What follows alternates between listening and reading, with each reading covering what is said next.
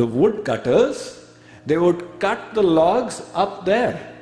And rather than carry it down in trucks, they would just throw it into the Ganga. The current would carry the logs. All these logs are floating in the river. Occasionally, two logs would join together.